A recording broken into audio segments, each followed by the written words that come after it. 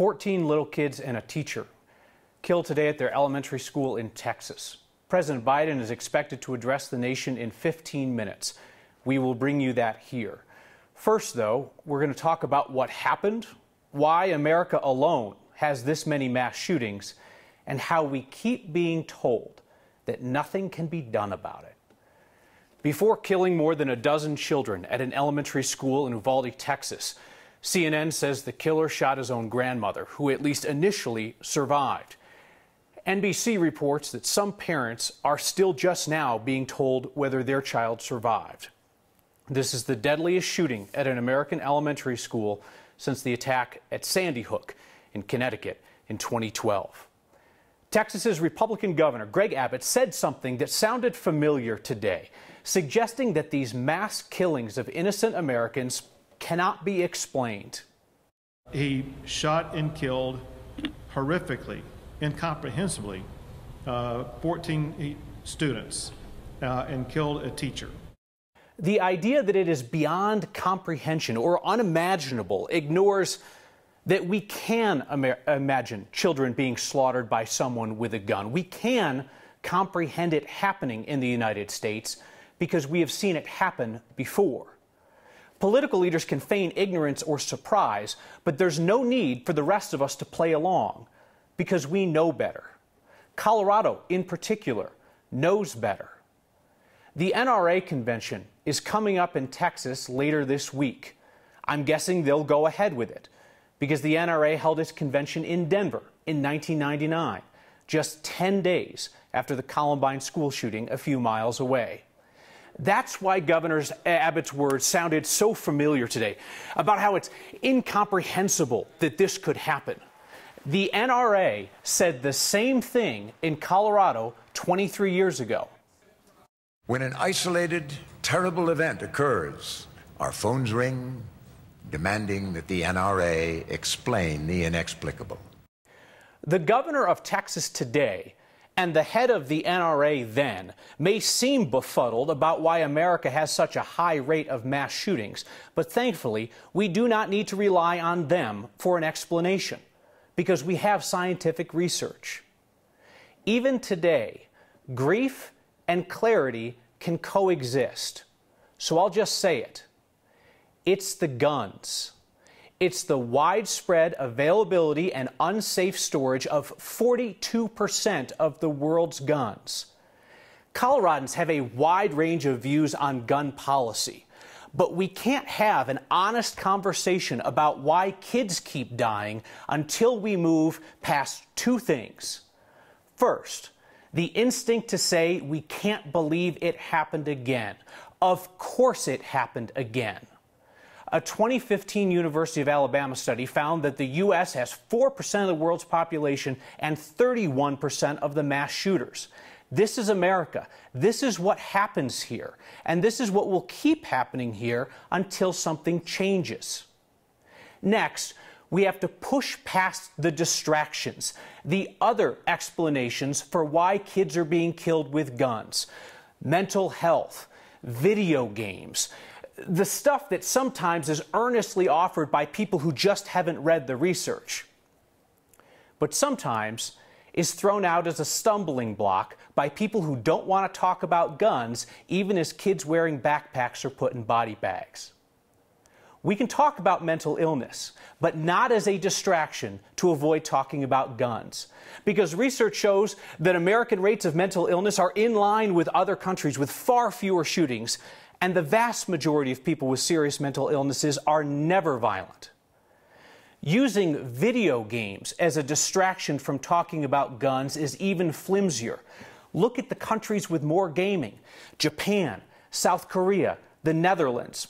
They're not awash in mass shootings.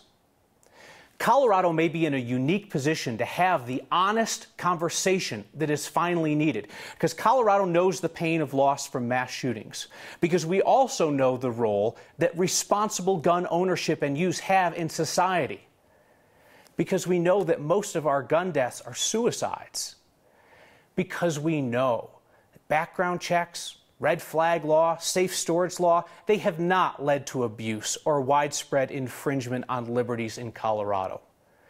But that conversation can only happen when we cut through the BS and the politicians pretending that they're confused and shocked by today's shooting and tackle why the U.S. is different in such a terrible way.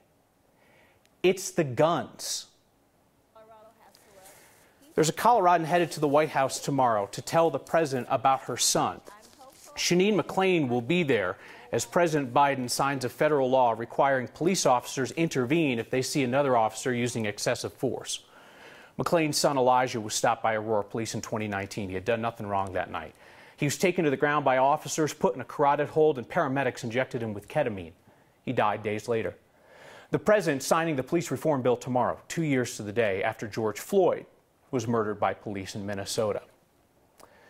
There are people in Denver who open up their mailboxes nearly every day and find offers from investors to buy their homes unsolicited. It's led one community coalition to start buying up land itself to make sure that people don't get priced out of their own neighborhood. Here's Mark Sallinger. The sound of change comes in the form of yet another construction crew working outside Alfonso Espino's home. It's changing right before our eyes. Alfonso has lived in the Elyria neighborhood in North Denver his whole life. Yeah. Now he's a community organizer with the Globeville Elyria Swansea Coalition. Everybody has a pound worth of mailers offering cash for your home. He gets offers from developers all the time to buy up his family's home so investors can replace it with something new and more expensive. The Neighborhood Coalition is fighting back, buying up land in the area through a trust called Tierra Colectiva, or collective land. Neighbors will choose what to do with the land instead of developers. Our land trust is specifically focused on preventing displacement. It's anti-displacement effort, and it's not anti-development, it's about developing for those who need it most. And that diversity, that kind of integrity, that, that sense of belonging and, and rootedness that's always been uh, a pride of Denver is really is really going away. Jeremy Németh is a professor of urban and regional planning at CU Denver, focusing on topics like gentrification.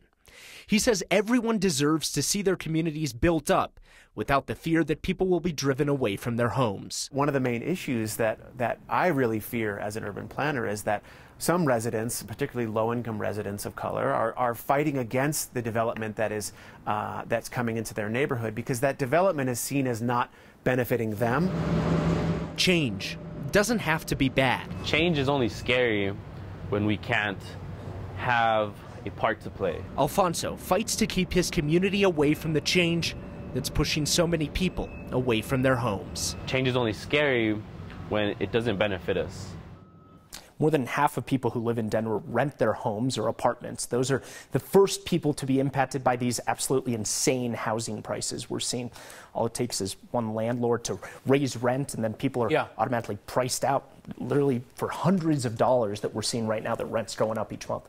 So they've got an idea, they've got a strategy. At the end of the day, though, they're going up against developers with deep pockets. And all of this comes down to money, right? They're asking for more grant money from places like the city. They don't know if they're going to get that. But sometimes Alfonso said that it can feel like an uphill battle when you're going up against somebody with millions of dollars wanting to buy a property. Yeah. Interesting. Let's keep track of their approach. Absolutely. All right, Mark, thank you. If a tree falls from government property onto your property, is that your problem? It's not an uncommon question after last week's snowstorm and all the damage. Our Marshall Zelinger found the answer depends on which city or county is involved. It's sitting on my on my daughter's play school playground right now. The thing's the size of a rhinoceros, probably weight wise, so I haven't really been able to to investigate underneath.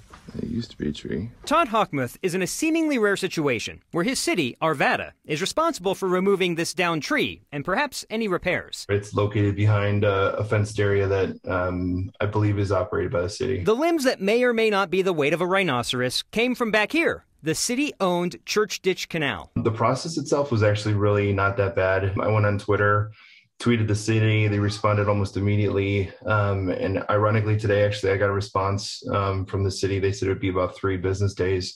And today's business day, too. Contrast that with the almost 150 people in Denver who contacted the city about tree limbs down in the right of way. You know, the part of land between the curb and the sidewalk. City planted trees that you're responsible for. So if it feels like the city always wins, The answer is you're right. Former Denver City Attorney Scott Martinez made it easy to understand why you are responsible for what you might think is the city's. Even if the city put the tree there in the first place, it's your tree now.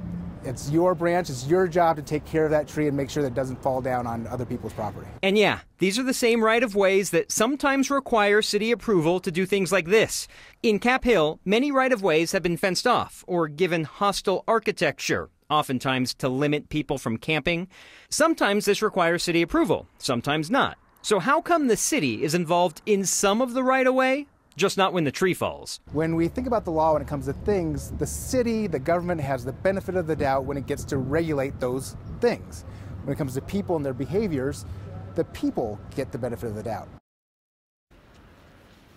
there are some permits required, like if you want to do some nice landscaping under the trees, or like we saw in the story, the temporary fencing in some cases, it's supposed to require approval from the city. But inside that area with the trees and the broken limbs, don't bother the city. It's all on you. Good to know. Not necessarily the answer people want, but it's the answer that you researched for them today. Marshall, thank you. Food benefits for families are being delayed again, second time in six months. We look at options for families in need while we wait for the city to get its act together. Next.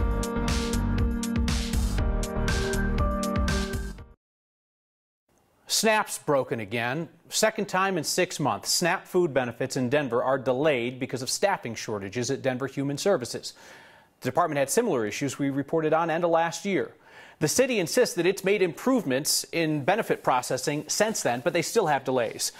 They're getting delays in getting SNAP benefits out to existing recipients.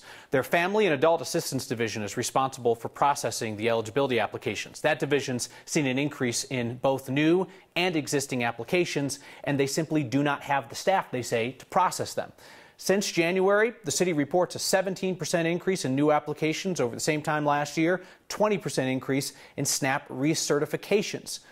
In December, they had 70 job vacancies. They filled 40 of those positions, but those people have to get trained before they can get to work. So DHS has been temporarily reassigning other trained staff to work overtime and try to speed up processing. In the meantime, DHS says it can expedite critical risk cases. So, people facing eviction, older adults, people with medical emergencies. If you think you qualify for the expedited assistance, DHS asks that you call the number on the screen 720 944 4347. DHS says it's working with Food Bank of the Rockies to put together monthly food pantries. That won't happen, though, for a couple of weeks. First one's on June 17th, then another on June 27th. We reached out to the nonprofit African Community Center in Denver. They help community members submit renewals for food stamps for SNAP. And you, have helped uh, the African Community Center through your Word of Thanks microgiving campaign in the past. That nonprofit told us the backlog has impacted at least nine of their families, and they expect that number to increase next month. They're using some donated funds to help those families. At this point, though, they're not able to provide the full allotment that they typically get through SNAP.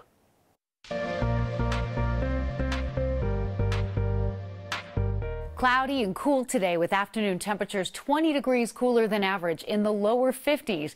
These numbers are going to trend the other direction tomorrow. We'll go with sunshine and 70s as our latest storm system spinning in east central Colorado brings rain and snow to the continental divide, a few scattered showers to Denver, and then the whole system is going to move out later on tonight. Winter weather and travel advisories are in effect for the foothills for another inch or two of snow. As this system rolls out and skies clear, well, we're going to have chilly lows lows in the 30s tonight. But look at your forecast for tomorrow. Sunny and 71, low 80s Thursday, close to 90 Friday, and maybe a late day thunderstorm over the holiday weekend, both Sunday afternoon and Monday as well. A lot of roof work in Denver lately. It's companies trying to comply with environmental legislation. This is a way to incorporate essentially a farm in a city. Our first up close look at the process of building a green roof next.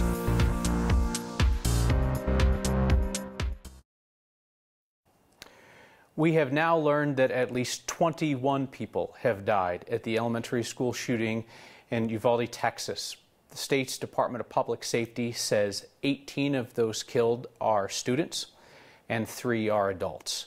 President Biden is expected to speak any moment now. He was expected to speak at 6:15 our time. The latest that we're hearing from the White House is that it will be 6:30. You will see that live here when the president steps to the podium. If you could fly over the city of Denver, things would be getting greener. In the five years since Denver voters passed the Green Roof Initiative, 150 buildings have applied for a permit to build a more environmentally friendly roof. That's now required for buildings in the city with more than 25,000 square feet. So this could mean planting green space on the roof, installing solar panels, and new builds have to follow the same guidelines. Today, we finally got a chance to see exactly how this works when the folks at the CSU Spur near the National Western Center invited us to see their installation. This is a way to incorporate essentially a farm in a city. I think it is the future. We are on the fourth floor at the new Colorado State University Spur campus. Right now, I'm installing one of three research projects for this research green roof area. So green roof is literally a vegetated rooftop. So it can take a lot of different forms. So these green roofs are meant for veg crops, flowering plants. One of the reasons that Colorado State University invested in this work has to do with um, the fact that we have the Green Building Ordinance in Denver. Some people may recall that in 2017 there was an initiative, initiative on the ballot that asked people to support green roof spaces going into new construction. So this is our medicinal plants plot. For large commercial spaces and residential um, new construction over five stories, um, it's a requirement now in the city of Denver that they need to have green roof spaces. We have plants like chamomile, anise hyssop, we also have lemongrass. We've just got to find ways to make our cities more livable. And while it might seem like an upfront cost, the benefits are long term and high value. Gardening in Colorado is eclectic, unique, it has its own flavor, and I think this is a way to add another dimension to all that's possible in gardening in Colorado. CSU Spur says their green roof initiative will be open to the public starting June 8th. They want to actually show people what a green roof is like and the benefits that it can bring rather than, you know, just being something kind of hidden up in the sky. You heard my thoughts about today's school shooting and the reasons behind it. Read some of yours in our feedback next. Stacks and stacks of feedback on what we talked about tonight. Evan Morris says that blaming today's shooting at the elementary school on guns is, quote, simply lazy. Can we talk about mental health? Yes, Evan, we can. We can talk about how America's mental illness rates are similar to other countries that do, not have nearly as many mass shootings as we do. Trent Mendoza says, Kyle, I think we need to start by getting rid of very violent movies. We could try that, but we could also look at all the countries around the world that consume American media like movies that don't have nearly the rate of mass shootings that we do. Elizabeth Suarez writes in to say it took cojones to make the statements you did. I don't think so. It just took the ability to read research and talk about what it says and to avoid the common dis uh, distractions that get thrown out to prevent us from talking about guns. Suzanne says, You're wrong about guns being mostly used to commit suicide in Colorado. I want to know where your facts are coming from. Uh, they're coming from the Colorado uh, Department of Health and Environment, which tracks why people die in Colorado. Karen Lee says, My daughter just asked me if kids stop growing when they die. I told her no. See you next time.